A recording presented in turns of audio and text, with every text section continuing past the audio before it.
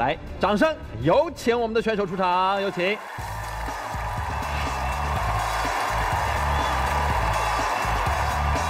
二位好，你好欢迎二位。哎呀，太喜庆了，二位啊！年画里抠出来我们俩是福啊，你知道吗？好，来给我做个自我介绍，二位好吗？大家好，我是来自重庆原声社的相声演员李圆圆。圆圆，欢迎。哎，大家好，我是来自重庆原声社的相声演员，我叫于正豪。二位是我们俩就是搭档，搭档，嗯啊，对内就是仇人，对内是仇人。不要动。现在职业就是从事这个相声表演。哦，对。你们俩怎么认识的呀？就是他是我的学长，然后就是学生物嘛。当时他有一个表演团，当时我就去参加表演团，就是那个就是演小品、演话剧的，但他把我刷掉了。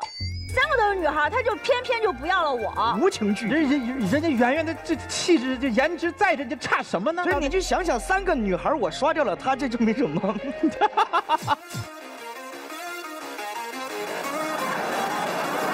主要是因为当时三个女孩啊，就她最闹腾。主要还有一个原因，就是因为当时可能眼睛有点瞎。啊，这个我认了，我认了。她当时确实就是，现在眼睛也不大哈，你看。啊，那这后来就怎么搭档在一起的呢？就是他还有另一个社团，就是我职务比较多，在学校。对，他就是当时呃有个。剧斗社，剧斗社就是我们的一个相声社团，加入社团，然后来做这个。所以后来两个人就在学校里算是正式的搭档了。对对，然后就一直到现在就也五年了。对，既然搭档了五年，这个默契肯定就不是就是一般人的默契了。你现场今天来到我们这个舞台上，给我们来一下好不好？啊，展示一展示一段。啊，这样给大家带来就是一小段我们自己写的一段相声。行啊，行啊，行啊，太棒了，太棒了！来，掌声欢迎，掌声欢迎。相声演员李媛媛，相声演员于正豪。上台鞠躬。用这个普通话给大家表演，其实心里还是非常的紧张啊。哎，废话，到了天津可得说普通话。其实为什么爱用重庆方言跟大家讲呢？为什么呢？因为我觉得方言啊很有意思。是吗？这重庆方言啊反映了我们重庆人生活的一个特色。哦，您给大伙儿说说。就举个例子吧。啊。就大家平时聊天呀，跟大家打招呼见面，其实说话会特别的长。是啊。在我们重庆就不这样呀。那重庆怎么着？重庆讲究四句话，八个字儿就打完了。八个字打完招呼。对呀，您试试。那咱给你学一学啊。重庆人怎么打招呼？您来。做啥子？买菜要得，拜拜。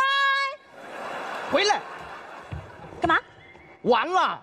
对啊。好，这也太不热情了吧？怎么不热情了？我们重庆人打招呼呀，这个热情啊，都在我们的语音语调里面，所以大家啊就听这个语音语调，拜拜。哎，就走了。哎，回来。干嘛？好，就这个啊。怎么了？这这一般有意思吗？除了这个还有呀。还有其他的。就我们重庆人砍价也很有意思。重庆人怎么砍价？砍价讲究三个字。哪三个字？快、准、狠。哦，您说说。